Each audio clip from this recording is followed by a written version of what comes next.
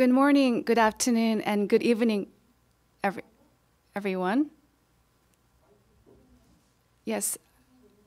Yes, oh, sorry. Good morning, good afternoon, and good evening, everyone. Welcome to 2021 webinar series on the interpretation of heritage, titled World Heritage and Multiple Memories, hosted by Cultural Heritage Administration of Republic of Korea.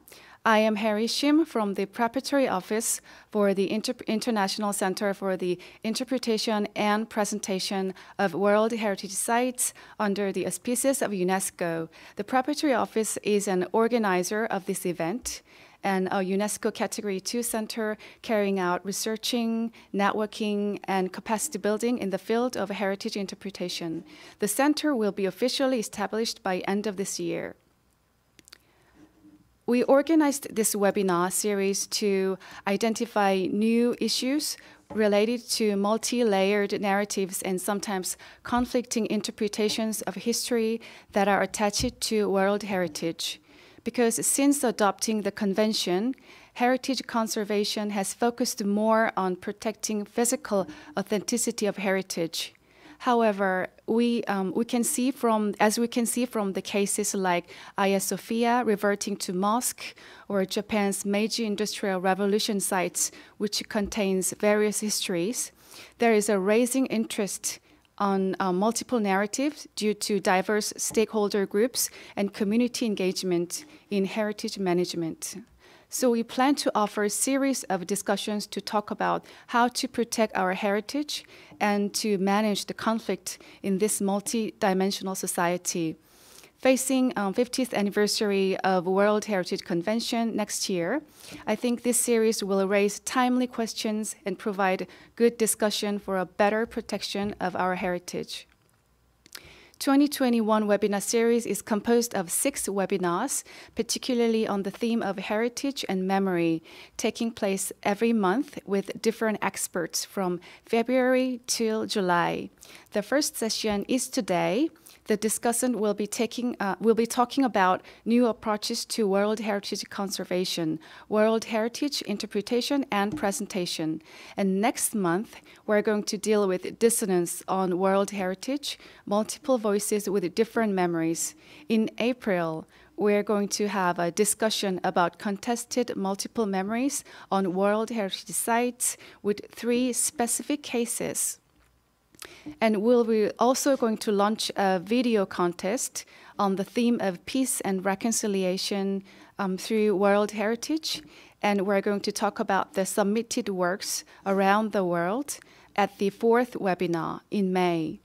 In June, we are going to look for answers to the questions that we have raised through, uh, through this journey, discussing the institutional aspects, including the role of UNESCO and the civil society approaches. Finally, the last webinar will be taking place as a side event of coming 44th World Heritage Committee on the theme of multiple voices and memories toward peace building and reconciliation. The webinar series is in collaboration with um, the African World Heritage Fund, um, also a UNESCO Category 2 center in the field of World Heritage in Africa. We expect this webinar series to serve as a forum for discussing the peaceful management of World Heritage in conflict and the effective implementation of World Heritage Convention. Um, okay, so now I'm going to introduce our moderator, um, Dr. Christina Cameron. Dr. Cameron is a professor emeritus in the School of Architecture at the University of Montreal. She has been involved with the UNESCO World Heritage Program for more than 30 years and has been a chair for the World Heritage Committee twice. She also has a long history in the government of Canada in the field of heritage, heritage including the head of the Can Canadian delegation of UNESCO World Heritage Committee. And recently, she is one of the chairs leading the global awareness raising initiative called Our World Heritage, re redefining the role of heritage in a multidimensional world. Before beginning our webinar, I would like to let you know that you can leave your comments or questions on our Facebook or YouTube below this video um, during the webinar. There will be Q&A session after the discussion, so please share your thoughts. Now I would like to turn the time over to our moderator. Pleasure to meet you, Christina. Thank you, Hari, and good morning, good afternoon, good evening to all our audience. And welcome to this first in the series of webinars organized by the Preparatory Office on the theme of World Heritage Multiple Memories. Today, our session is on new approaches to World Heritage conservation with a particular focus on the role of interpretation and presentation. In this webinar, we've been invited to discuss the international context related to interpretation and presentation of World Heritage, especially through the lens, excuse me, of multiple memories. So to put our conversation in context, I want to make two points. The first is that the 1972 World Heritage Convention says that a site proposed for World Heritage listing must meet the threshold or the standard of outstanding universal value. This means that the focus is on universality and therefore does not always reflect the multiple narratives often associated with historic places. The second point that I wanted to make is that in the early years, a lot of attention was paid to the physical condition and conservation of sites. And I think we could argue today that interpreting diverse values and reflecting multiple voices at World Heritage sites has become as significant as physical conservation. So what we have then is an interplay of official narratives, like the universality narrative, and other narratives. This can occur in historic sites and it can also occur in natural parks and protected areas. Multiple narratives come from different memories associated with the same place. Because different individuals and groups have different memories associated with the same site, it's obvious that multiple narratives can sometimes be dissonant, leading to dis- disagreements and even indeed conflict. So, to explore this, these issues today, we are fortunate to have three very knowledgeable discussants from the United States, Korea, and Australia and I invite them to turn on their cameras. First, let me introduce Elizabeth Silkes. Welcome, Elizabeth. As the executive director of the International Coalition of Sites of Conscience, Elizabeth guides the strategic growth of a thriving consortium of 300 museums, historic sites, and memory initiatives in 65 countries. The coalition supports sites of conscience across the globe in developing innovative civic engagement, transitional justice, and human rights programs through exhibits, designs, uh, peer, peer learning, exchanging, peer learning exchanges, excuse me, project grants, and joint advocacy initiatives. Her extensive experience with community-based memory and media projects gives her a unique perspective on the power of the personal story to move audiences from past to present and from memory to action. As a featured speaker at conferences and workshops around the world, Elizabeth has spoken about the role of memory in creating lasting cultures of peace and human rights in post conflict settings and emerging democracies. Our next discussant is Jie-Hyun Lim, He's a professor of transnational history and director of the Critical Global, Stud- Global Studies Institute of Sogang University in Seoul. He has published widely on nationalism and Marxism, Polish history, transnational history, and global memory. Among his recent works are the five volumes in the Palgrave series of Mass Dictatorship in the 20th Century and, he was a serious series editor for that. And he's now the principal investigator of the international research project Mnemonic Solidarity, Colonization, uh, War, and Genocide in the Global Memory Space, and series editor of Entangled Memories in the Global South. His recent memory studies books include Memory War How Could Perpetrators Become Victims? and Mnemonic Solidarity Global Interventions. And he has two other books in, in progress. As a memory activist, as he describes himself, he has co-curated exhibits on uh, unwelcome neighbors and one on naming forced laborers. And he also serves as president of the Network of Global and World History Organizations. And our third discussant is Alwyn Beasley, a heritage professional who currently works for the New South Wales state government in Australia, managing a team that supports the governance and management arrangements for three World Heritage Sites. And they are Willandra Lakes region, the Greater Blue Mountains area, and the Gondwana rainforest. As part of this role, she has worked to support and improve Aboriginal representation in the governance and management of World Heritage properties, and worked closely with the traditional owners of the Willandra Lakes Region World Heritage Site to develop a rights-based approach to research on country and to achieve the repatriation of ancestral remains.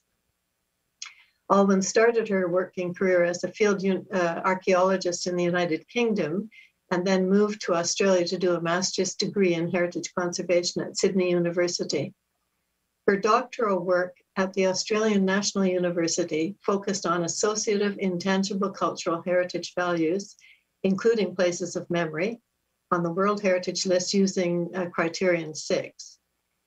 For several years, she supported Australia's role on the World Heritage Committee and now serves as the inaugural chair of the Australian Convict Site Steering Committee, that being another World Heritage Site.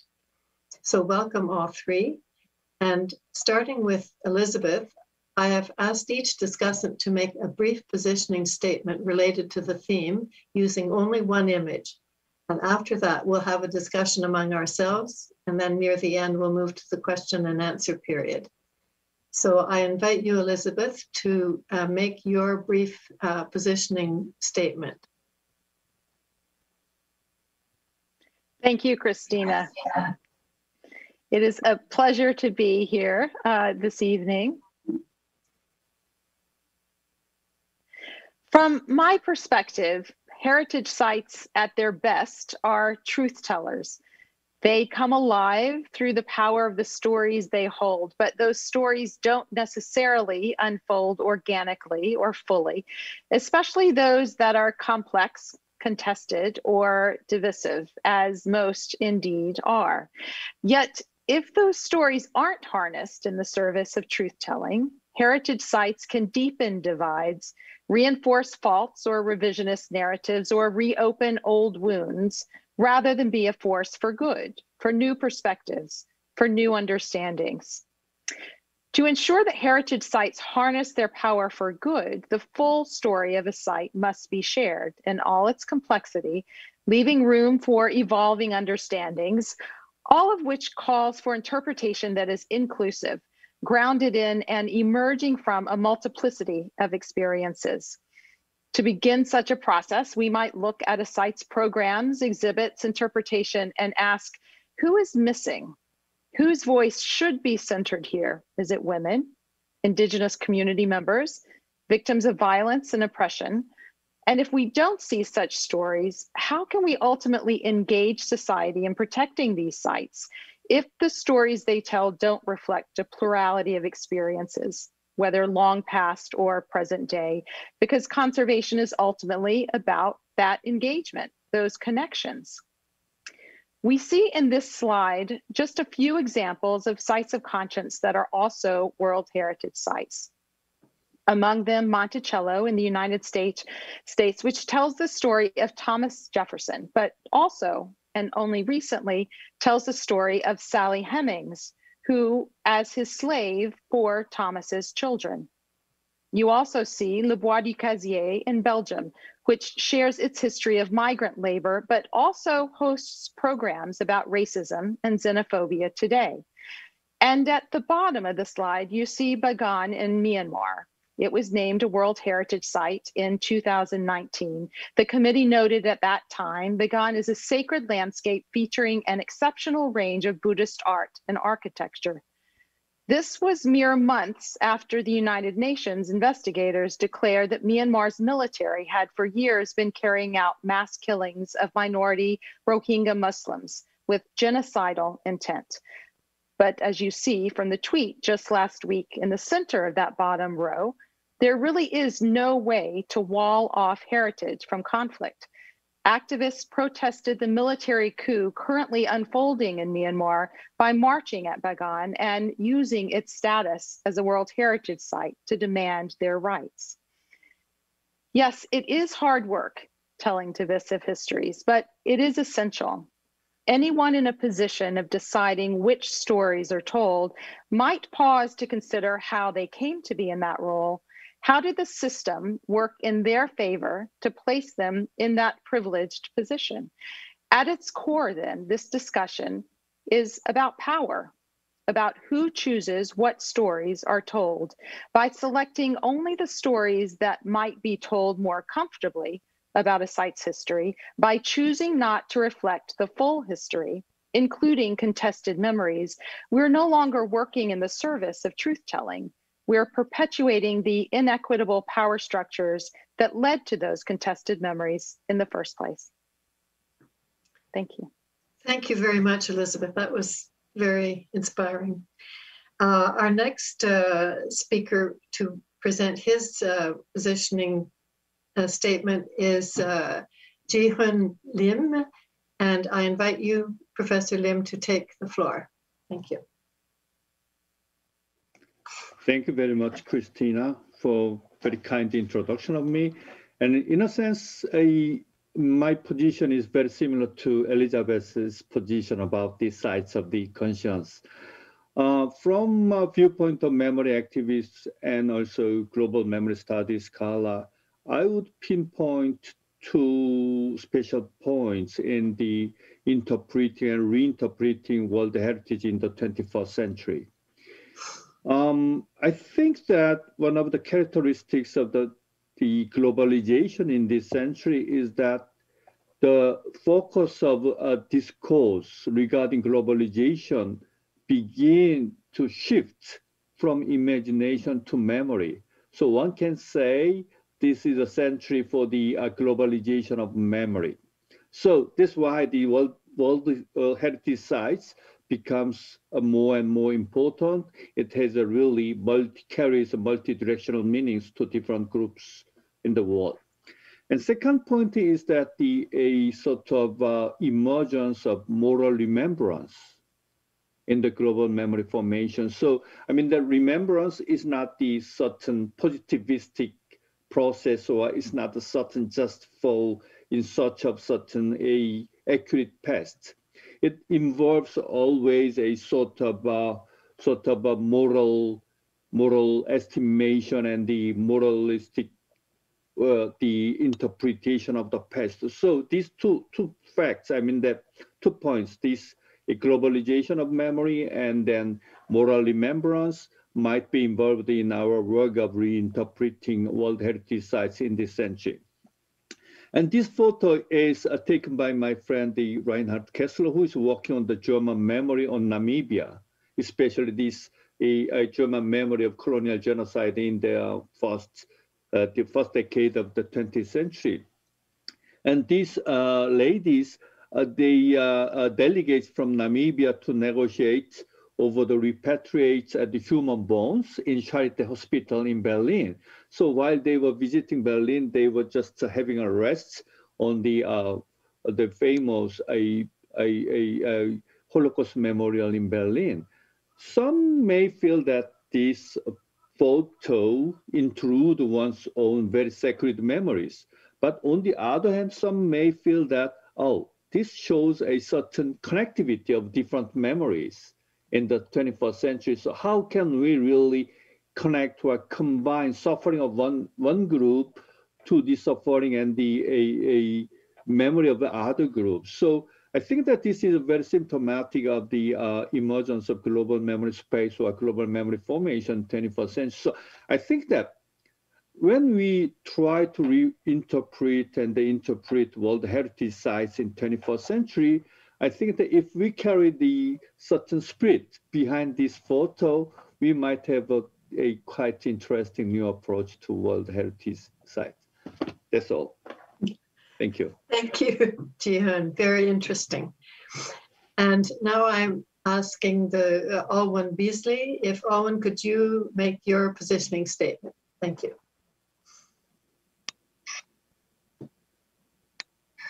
Oh, you're muted. There we go. Um, yes, thanks very much.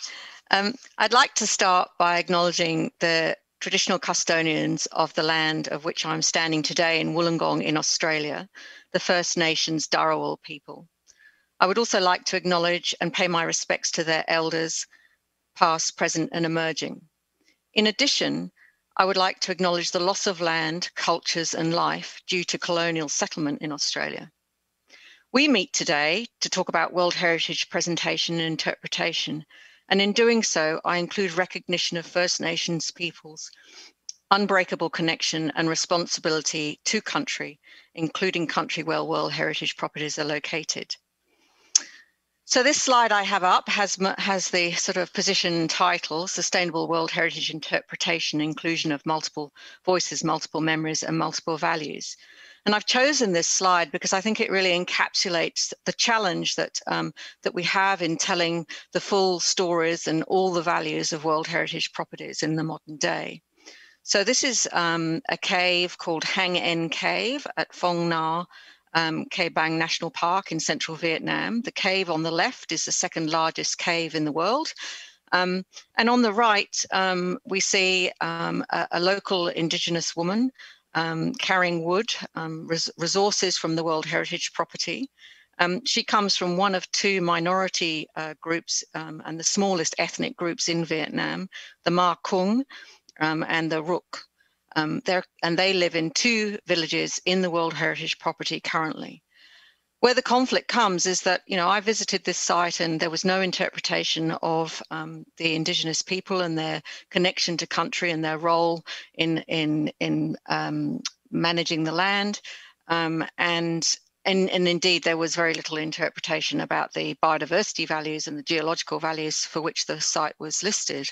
Um, and so maybe there is just a larger piece of interpretation work to be done at this site and, and this will all come to the fore. But what is slightly concerning is that apparently the, the government, you know, have sought to relocate the villagers um, and, and give them new homes, um, which of course they have been um, avoiding. Um, and, and, the reason for that is, is because of their use of the resources in the World Heritage property.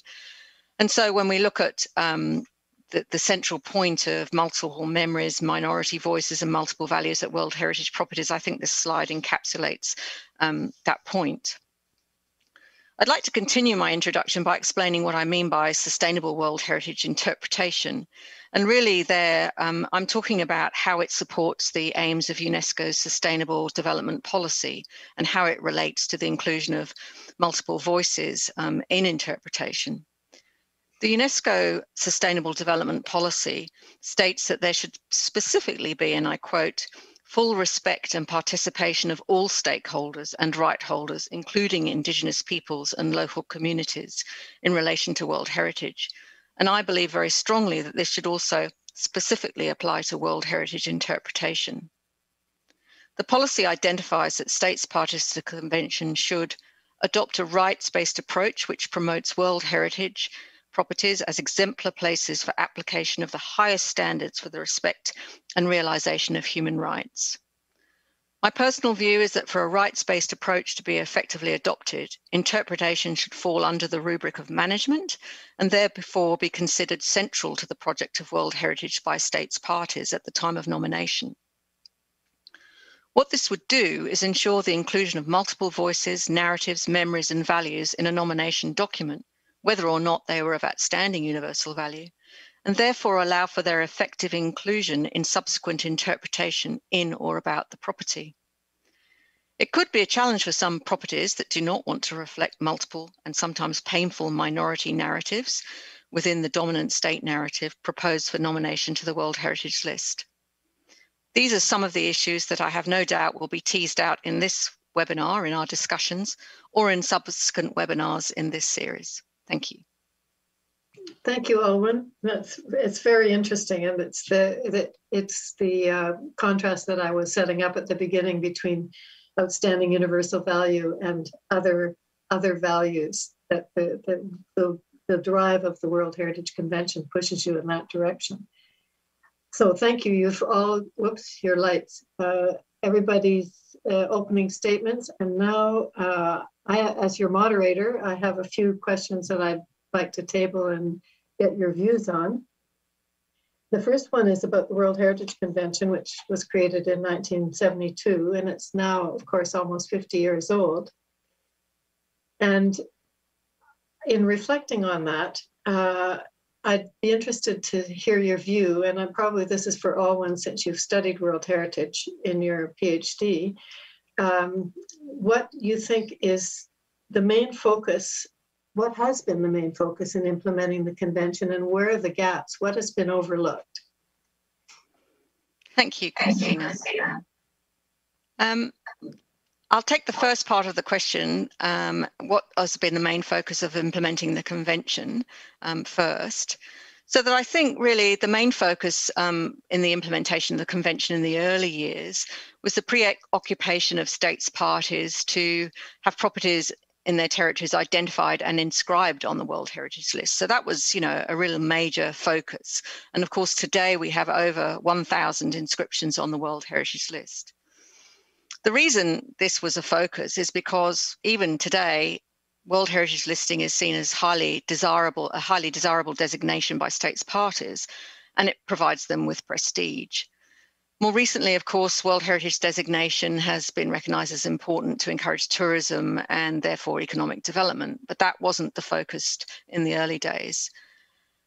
And I suppose the main issue with the focus being on inscription was that after inscription, states parties tended not to look at the detailed management challenges of having a property on the World Heritage List. It was almost as though one had the site listed and then rested on one's laurels and said, well, this is wonderful. We have a World Heritage site that's been recognized by the world, and that's great. Let's look at listing the next one.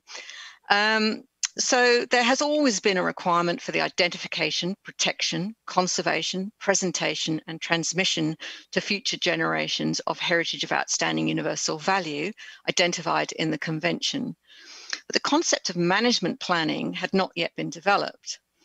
And this is where the focus on listing was prioritized over management and then for you know later on down the track which i'll come to about interpretation there was also, as Christina has identified, a clear focus on conservation of the physical fabric or on particular species management for natural heritage sites, but a more nuanced approach to take into account social, economic, and environmental roles of World Heritage in society in the early days wasn't really broadly considered. Um, and so we can see that we've come a very long way um, from where we started in 1972 in the discussion that we're having today and has been having being had around the world at this time. Um, also, I'd like to point out that the responsibilities and obligations of states parties to manage and protect the outstanding universal value, um, the World Heritage values and attributes of those properties, is something that has come later in the piece. Um, and really, that's been enhanced and drawn out by the requirement to provide management planning systems that identify how those values would be protected uh, moving forward. So I think those are the the, the main um, areas of what the focus used to be.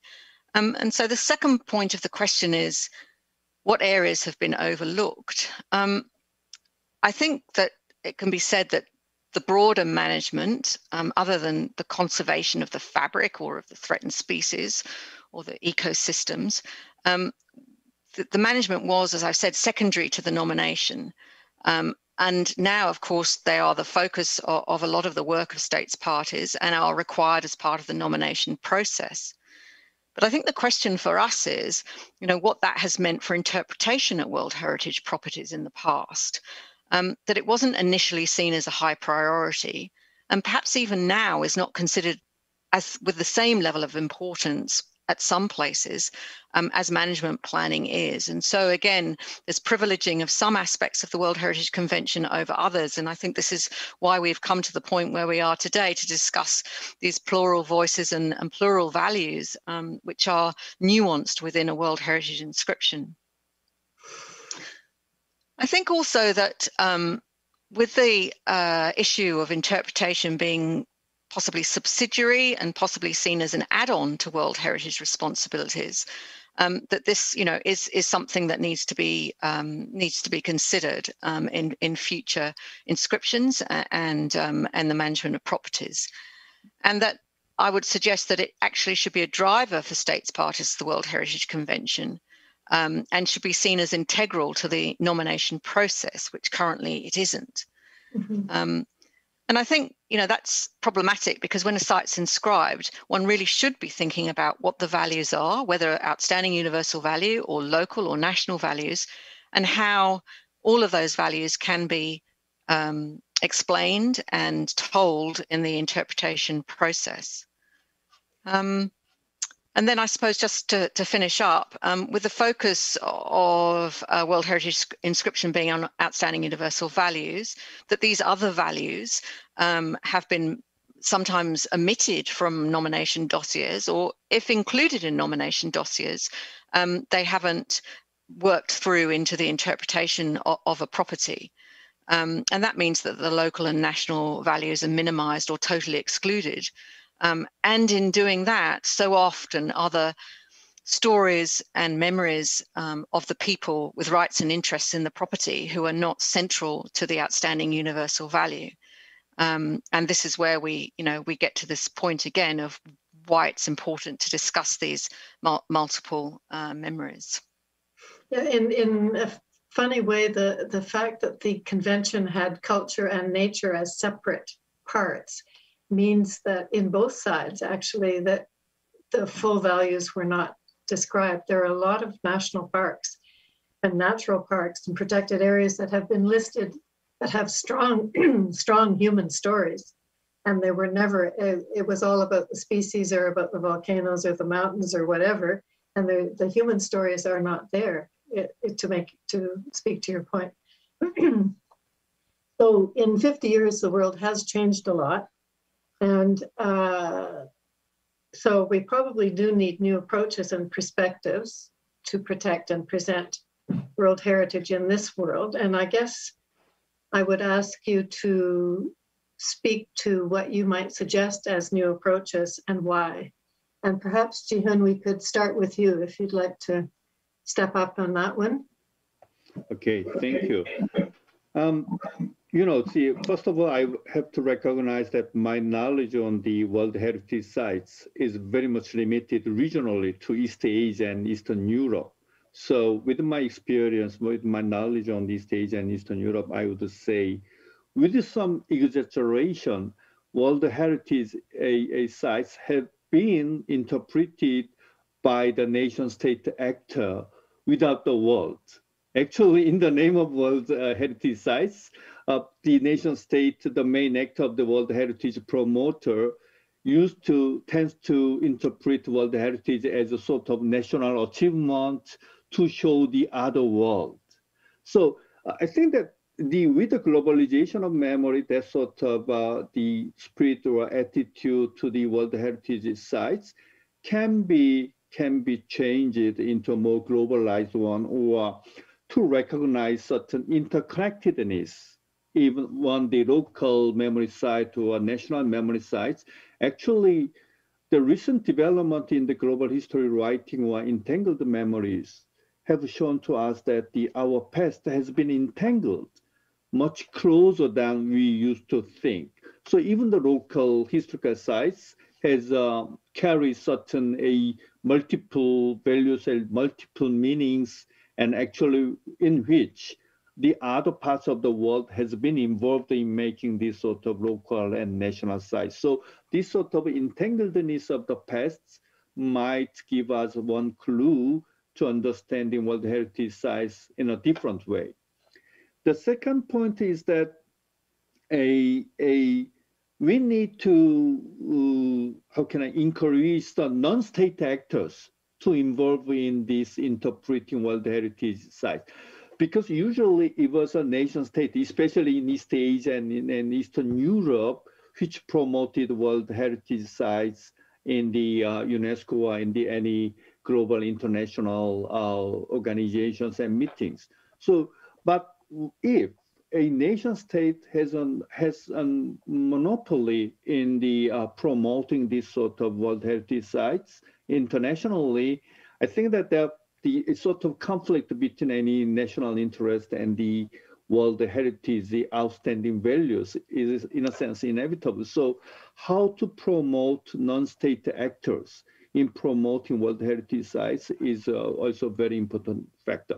The other one is as far as the, the uh, sort of World Heritage sites in the nature is concerned, I think that we need to think of the uh, spirit of Anthropocene. Usually, if we uh, put a stress on the human beings' involvement in conserving nature or in the uh, contacting nature, I think that a sort of um, human being centered interpretation is inevitable. Some people say that this is a human beings imperialism or human beings colonialism against the other species and the nature. So how can we really uh, overcome this sort of uh, human beings, a sort of uh, hegemonic approach to the uh, natural uh, World Heritage sites might be also another challenge in uh, we can we can meet in this century. That's all. Thank, Thank you. you. Uh, do either of you, Elizabeth, would you have any comments on that? No, I'll just add that I absolutely agree that um, broadening the net, if you will, so that non state actors have more of a formal and informal role in um, interpretation. Eh, that's absolutely essential. And um, it is at, at the moment when it's a top down process, it is it really exclusive. And um, it's one that does not um, create access points for um, vulnerable community members, for those who have um, negative experiences of these sites. But those experiences are so important in presenting a, a, full story. So I completely agree. And also taking this moment and thinking about our interconnectedness as we're all understanding, I think, um, in a new way as we look at uh, current public health challenges and how um, until all of us um, can be safe, um, none of us is safe. This is really, you know, we really are connected in ways that um, many of us had never really thought before. And when it comes to our stories, untangling um, through these interpretations and through sites uh, that's really an extraordinary way for us to begin to identify our shared humanity. And that ultimately is the goal, isn't it, in remembering? Uh, Alwyn, did you have a comment on that? Or did I, I actually I was going to make a, a, reflection myself on the, the fact that the UNESCO, the 1972 convention has no mention, as you say, it's a it's a state party convention, and there's no mention of civil society. And it is interesting that the 2003 convention on intangible cultural heritage has a lot of reference to civil society and individuals and groups. So there's the, that reflects the change that happened. Alwyn. Thank, thank you, Christina.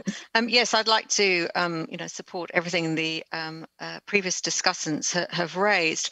And I suppose, you know, uh, as somebody who works in World Heritage, I think um, another challenge um, uh, in or a perspective that we need to think about in protecting world heritage today it is based on the people-centered approach to heritage but it's also um, and it's also one where we need to engage the public in world heritage um, and elizabeth's referred to you know the current pandemic and i think um, the protection of ecosystems um, and what national parks and World Heritage properties has been really central to the well-being of humanity in this current pandemic. Being able to use national parks and World Heritage properties um, as a, as a space of fresh air and exercise. So there are there is the sort of the physicality of the properties as well that that I think we we need to uh, embrace and by including a people-centered approach, whether that's Indigenous people, local communities who live around the boundaries of a World Heritage property, you know, who have been using that site probably for generations before it was listed, including their stories and, and letting them be represented in the interpretation at a place will encourage you know, it's an, it's an age-old adage, but you know, it will will encourage um, understanding, and through understanding, appreciation, and through appreciation, protection. And you know, this is the center of the philosophy of national parks. You know, winning hearts and minds. And I think for World Heritage, it's the same. And if we can connect the two elements of a people-centered approach to interpretation in our World Heritage properties, then then people will see themselves. They will enjoy you know the, the, the protection they will enjoy the resources. And and i think we have to also you know remember that people do use these places as recreational resources. You know they go for walks they have weddings they go to concerts. You know it's it's part of everyday pre-covid everyday life in in, in experiencing you know the the heritage of, of humanity. So i think we must be careful not to be too rarefied about our heritage and try and bring it, as the convention says, have a life in the community and what that actually means. So through interpretation, but and recognizing that it is a it is a resource as well. Mm-hmm. Yes, we've, we've certainly seen all the public spaces well used in this last year. The, the paths are heavily trod, trodden. um, uh, shifting gears a bit, I want to go to the telling stories at World Heritage Sites and uh, how we should do that. What are the principles underlying interpretation? How should what are the how should we approach interpretation at World Heritage Sites in our time?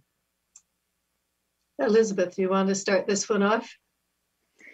Thank you, Christina. Um, yes, I'd love I, I love thinking about this. Um, and the, the principles really if they're grounded in local needs and local priorities then that's a good place to start. Um, thinking about local traditions as well.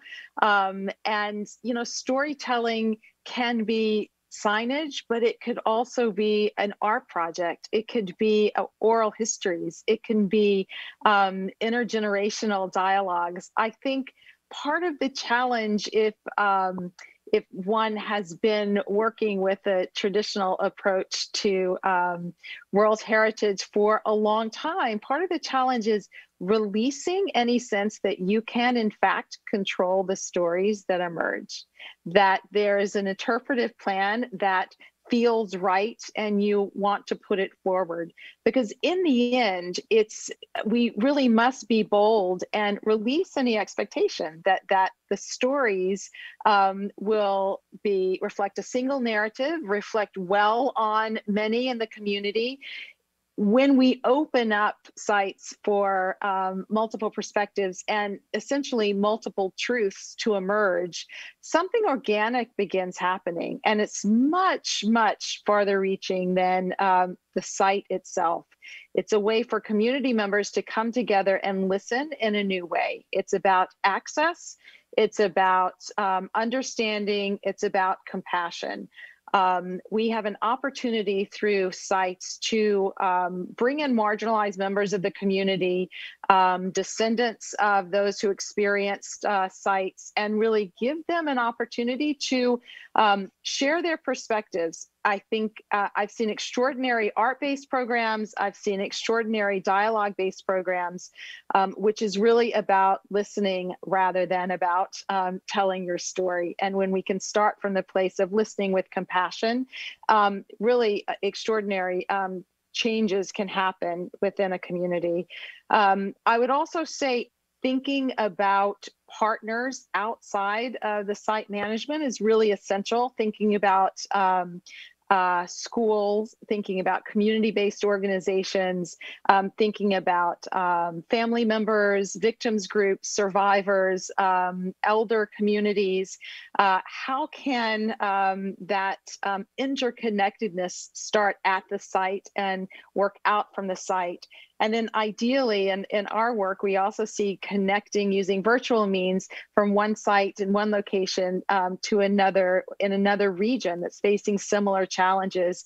And that's really, um, I think, an extraordinary way to elevate um, the stories being told because it shows that global connection. And ultimately, that's really the goal. The, the you've all made the point already, but it does this issue of the the national narrative or the dominant uh, universal, outstanding universal value message really works against that because it it makes the site manager feel as if he or she has to tell give all of those themes from that outstanding universal value statement that that's what they are there to do. And that's absolutely in it's the op- polar opposite of what you've just described which is interesting um, Jie-Hyun, would you like to add on to that you know, I do absolutely agree uh, with Liz and all when uh, when they talked of the absence of the women and the indigenous people and other subalterns in the World Heritage. But actually, they have been always present in the site. Just what has been absent was our gaze to recognize their presence. Because in a sense, uh, national narratives made us blind to the non-nationally dominant a people's groups a presence in the World Heritage Site. For example, when we have a very close look at the list of so-called national treasures in East Asia, we can see that many of those national treasures are actually imported goods. They were not made in uh, Korea, made in Japan. They were imported from Central Asia and other places. Once we begin to recognize these national treasures actually were produced outside the nation and or in the, any other part of the world, then people may begin to change their attitude in understanding their own past. Also, architecture. A very famous, eminent national architecture that was built 1,000 years ago. Sometimes we see that, oh, this, this architecture was built by Gastarbeiters more than 1,000 years ago. Mm. But people just presume that, oh, this architecture was made in Korea or made by Koreans. But it's not true. So I mean that once we recognize that this national national architecture has been built by the guest workers more than 1,000 years ago, it may lead us to understanding today's uh, Gastarbeiters' importance and their position in our contemporary world. In that way, these uh, different regions in the past has been interconnected.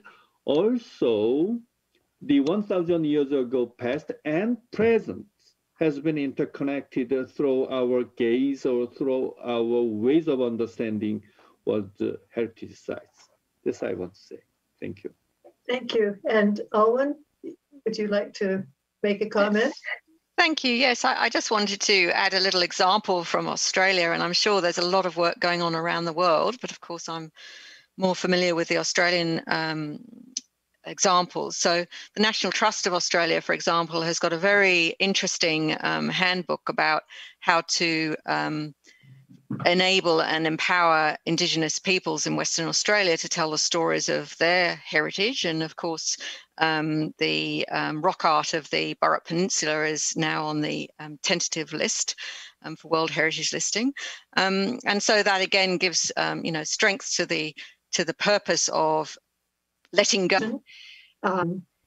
we undertake to get through that and to avoid conflict i suppose or maybe we have to open to to be extraordinarily helpful um, and often in um, deeply deeply divided societies it's starting with young people um, I think looking at young people and looking at elders, and whether that moves into um, an intergenerational exploration um, where young people who perhaps are thinking that these events, these traumatic events, actually never even occurred, um, putting them together with elders and um, having them record these stories, it starts to create um, connections that are quite profound and at the same time opens minds to experiences that are um, beyond their imagination and you start to then create a, a, a cohesive community reflecting memories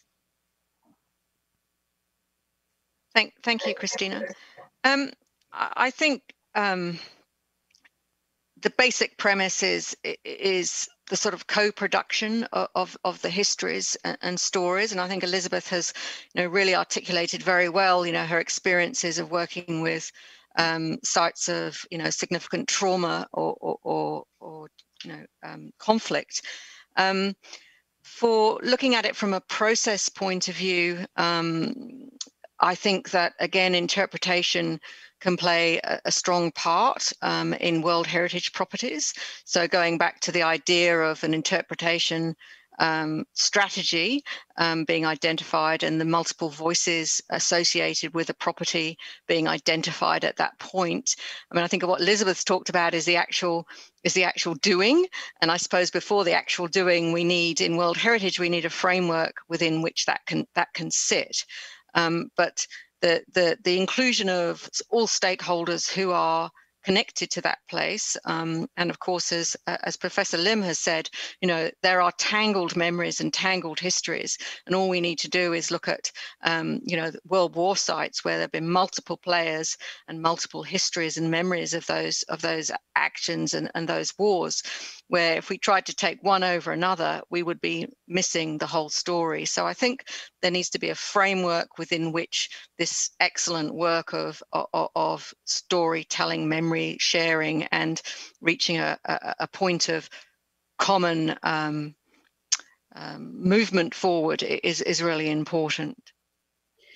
Hello, Professor Lim. You've you've done a lot of work in uh, in uh, Europe, Eastern Europe, and that's it's quite interesting of the reference to wars. And uh, what would your positioning be on on how you would deal with dissonant memories and conflict sites. Yeah, you know, uh, very recently I had a chance to write a review for the new proposal to restructure Babyn Yar in Kiev, Ukraine.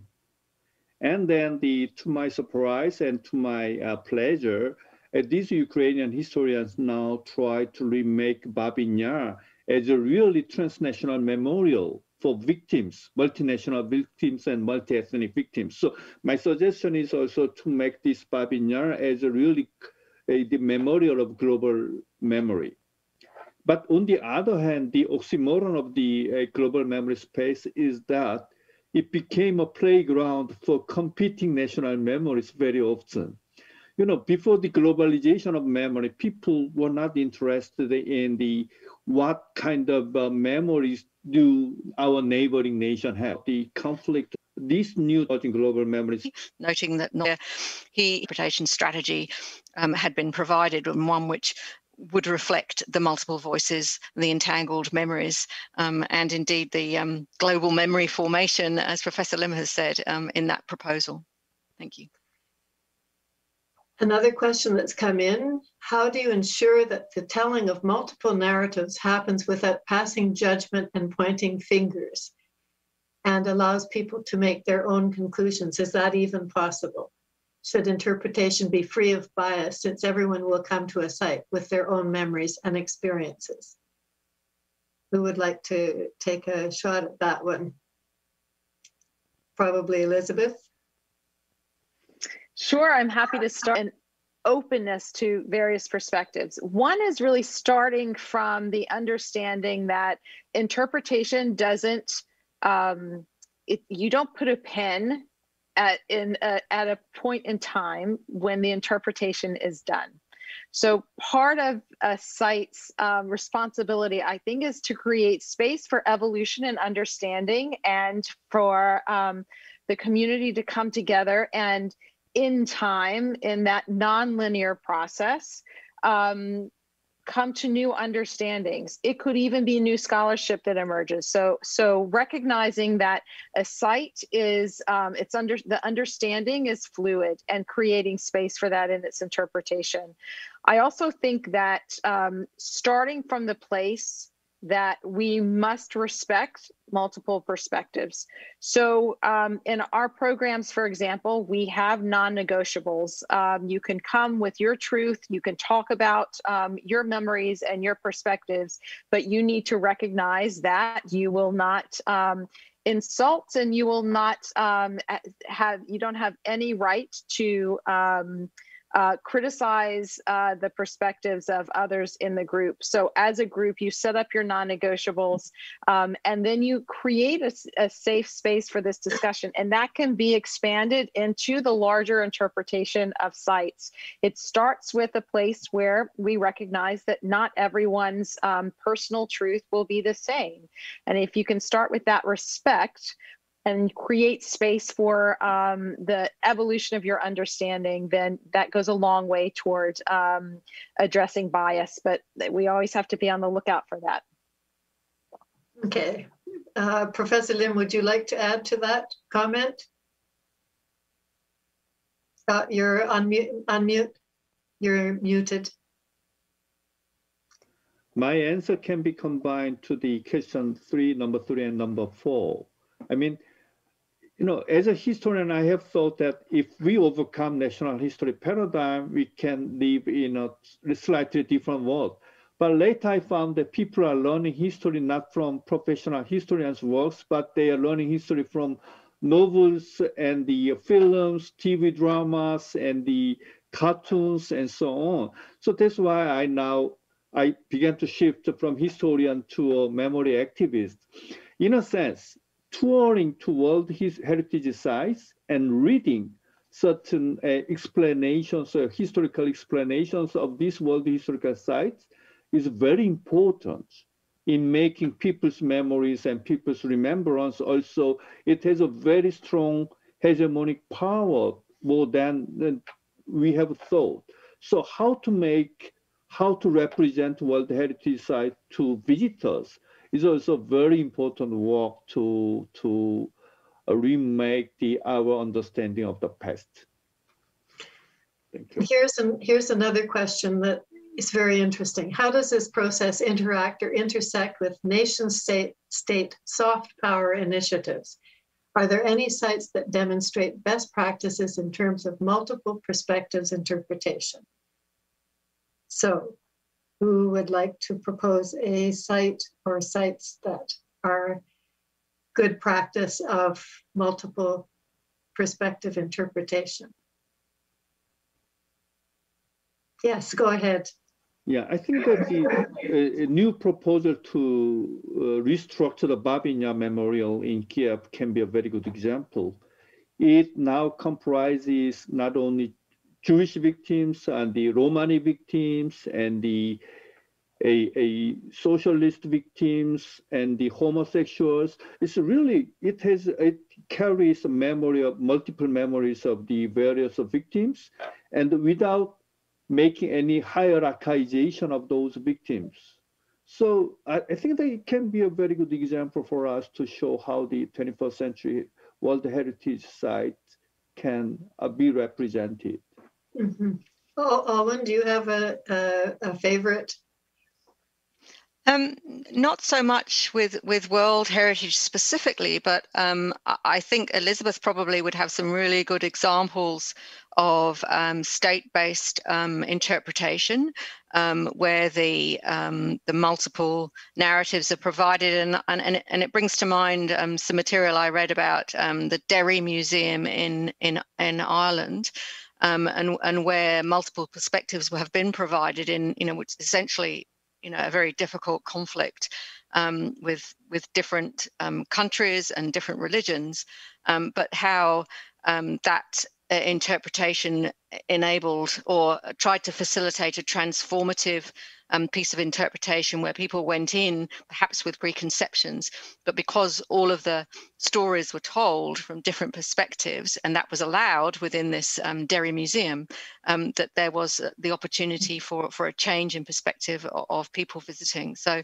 that I think sounds as though I haven't been there myself, but it sounds as though it's a great example. And I'll hand over to Elizabeth. She may have some more views. Yes, Elizabeth, the last word to you because then we have you. to wrap up. Thank you. Um, yes, that's the Museum of Free Derry, and I highly recommend that they've they've done a great job of of presenting multiple perspectives. Um, and I just have two more examples I'll share. One is not on the the um, World Heritage list, but it's Monte Sole Peace School Foundation um, in Italy, and they do really an extraordinary job of working, particularly with young people. Um, it was the um, the site of villagers, 700 villagers were killed um, during World War II. And they bring young people together to talk about um, the porous line very often between victim and perpetrator and um, they really dig into the gray area and um, what goes into our choices. And um, that's really an extraordinary site then i will also just mention um, esma the navy naval mechanics school in um, buenos aires in argentina. They're on the tentative list. And i'll mention them because this is a specific um, i think really wonderful way to go back and look at your interpretation and adjust when you realize that someone's voice is missing. And they realize that um, in all of their interpretation, this was a, a, a site, a, a, naval mechanics school. It was also a site of clandestine torture and detention um, during um, the dictatorship in Argentina um, in the middle of, of Buenos Aires. Um, and they realized that the women prisoners were missing from their the stories that were being shared from the interpretation inside um, the the museum. And what they did we provided them with funding as did a few others but they actually went and wrote with a marker on each of the interpretive panels the stories of the women that were missing. So on the one hand you start you get the stories of the women. On the other hand you start to see ah that was missing all along and we didn't realize it so I'll just leave you with that example. Okay, and I, we have more questions rolling in, but I'm afraid we're out of time. And uh, I'd like to thank all three of you for really very, very interesting comments and and uh, experience to share with everyone.